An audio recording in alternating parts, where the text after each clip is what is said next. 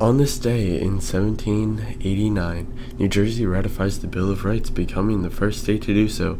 New Jersey's action was the first step toward making the first 10 amendments to the Constitution law and completing the revolutionary reforms begun by the Declaration of Independence.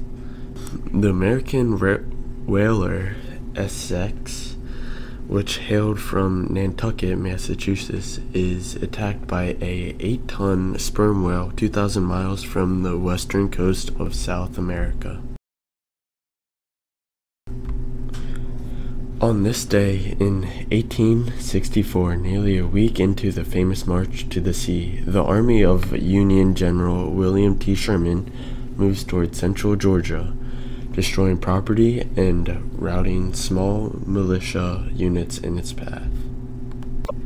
24 high ranking Nazis go on trial in Nuremberg, Germany for atrocities committed during World War II. And that's all for today, folks. Tune in next time to see what happened today.